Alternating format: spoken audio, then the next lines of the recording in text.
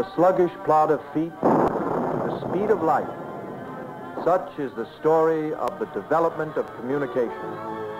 For centuries, the speed of communication depended upon the speed of transportation. Bearers of news toiled across mountains, traversed vast open plains, treaded their way through deep forest,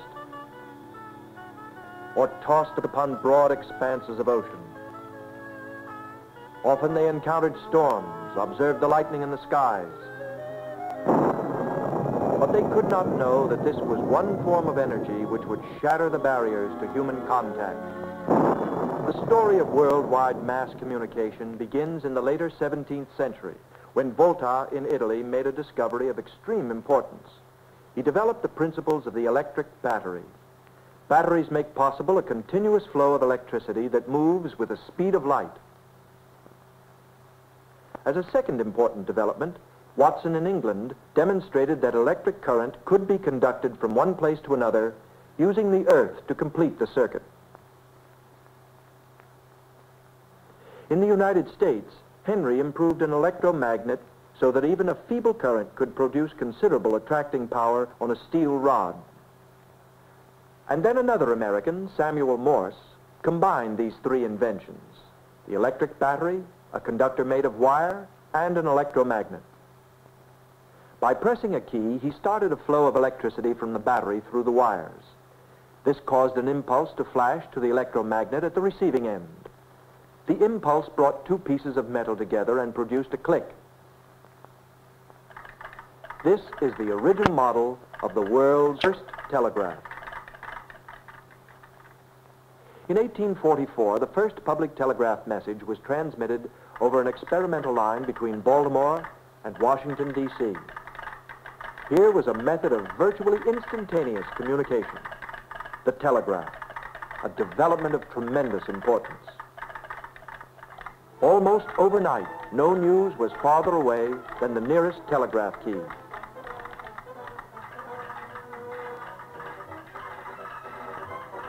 The exciting drama of the opening of a new continent flowed across telegraph wires from the farthest outposts to the population centers in the east.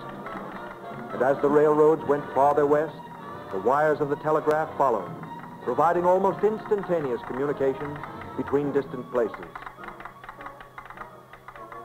Only the ocean remained a barrier. In the 1860s, a difficult undertaking got underway. A submarine cable containing many telegraph wires was planned between North America and Europe. After many months of arduous work and after many breaks in the cable and fresh starts, Europe and America were finally linked by a continuous telegraph wire. The cable rested on the floor of the ocean and carried messages flashed by the keys of telegraphers on both sides of the Atlantic. But despite all this progress, messages could still only be conveyed as code signals. Then, in 1876, an American speech teacher, Alexander Graham Bell, came upon the idea that waves set up in the air by the vocal cords could be transmitted over a considerable distance. These waves caused a thin diaphragm to vibrate, which in turn caused variations in pressure upon a mass of carbon particles next to the diaphragm. These variations in pressure governed the amount of electricity passing through the wire. As these electrical variations arrived at the electromagnet in the receiver, they caused corresponding vibrations in another thin diaphragm. Sound waves set up in the receiver were similar to those set up by the voice in the transmitter. Bell's first apparatus was crude and weak, but it did carry his voice across the wire to a remote place where his helper heard the first sound transmitted mechanically. But many improvements were necessary to make the voice not only heard, but understood. The telephone as we know it today was born from these simple beginnings. With the years, shapes and sizes changed, but the same principle operates them all, carrying human voices wherever wires are strung. For both telegraph and telephone require wires. But inventive minds were already working on methods of communication that would not need wires. Marconi of Italy, elaborating the discoveries of earlier inventors and scientists, brought out in 1896 the first practical system of wireless electrical communication. The basic part of this development was the discovery that electromagnetic waves, which travel with the speed of light, can be sent out into space and then picked up at a distance by a receiving apparatus. Marconi's first message was picked up at a distance of less than two miles from its point of origin. Only seven years later, wireless telegraph messages were being flashed across the Atlantic. Invention after invention piled up in the field of electric transmission. One of the pioneers, Lee DeForest, brought out a device called the vacuum tube. In it, a tungsten filament is charged with negative electricity and a plate with positive electricity. As the voltage on the plate increases, more electrons are attracted to the plate, thus amplifying weak electromagnetic waves. Vacuum tubes of all sizes soon crowded the nerve centers of communication. Thanks to the efficiency of the vacuum tube, a new voice began to fill our homes, the voice of radio. This is station KDKA, Pittsburgh, bringing you a program of news and music. The first commercial radio station in Pittsburgh opened a new era of entertainment and education over the airways. Transmission towers of all kinds, shapes, and sizes began to dot the countryside, and soon shortwave telephone messages were crossing the ocean to relieve the overcrowded submarine cables. But carrying human voices over the air was only the beginning. Hardly had radio established itself the world over when television joined the battle for the airwaves. Television went into millions of homes. Now the public not only hears but sees events as they occur. Entertainment, news, and education are flashed instantaneously from studio or location to television screens.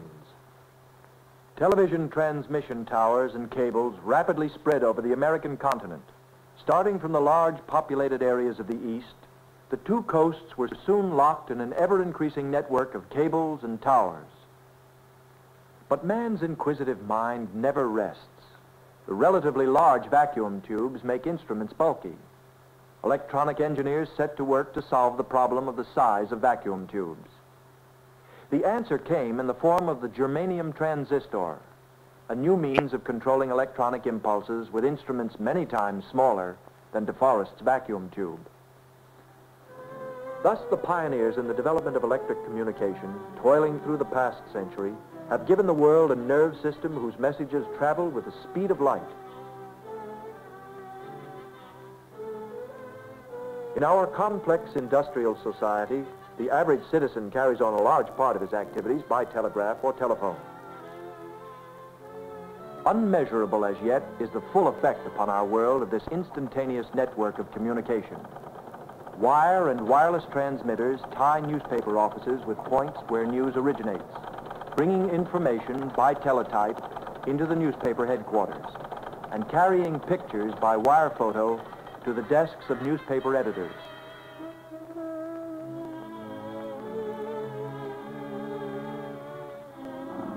Airplanes carrying radio equipment and air bases equipped with radio and radar increase the safety and efficiency of air transportation. Radio brings aid to ships buffeted by stormy seas.